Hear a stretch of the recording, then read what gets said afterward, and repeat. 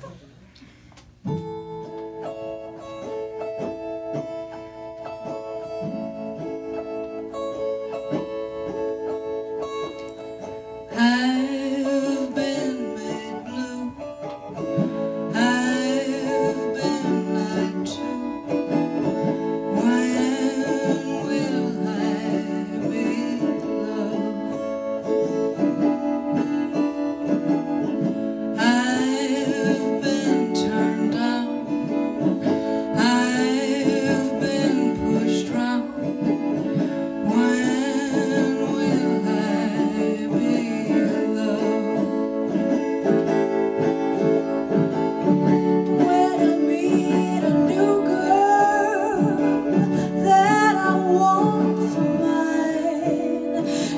always breaks my heart in two. It happens.